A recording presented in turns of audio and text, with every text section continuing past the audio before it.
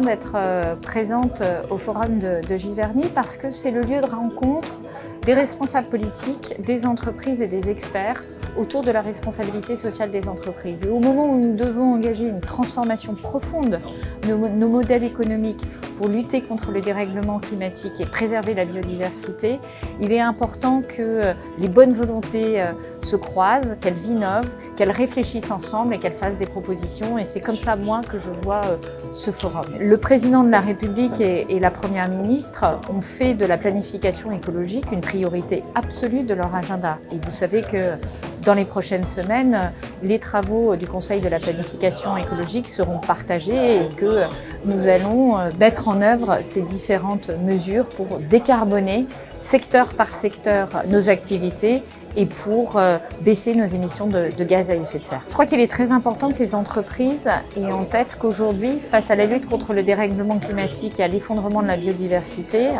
elles ont un rôle majeur à jouer. Ce seront aussi autant d'occasions de construire un avantage compétitif par rapport à leurs concurrents. Et moi, je les engage à regarder leur politique environnementale comme un élément central de leur stratégie pour embarquer leurs salariés, pour recruter les meilleurs talents, pour proposer les meilleures solutions à leurs clients et pour créer une croissance qui soit réellement pérenne et durable et qui ne soit pas de très court terme.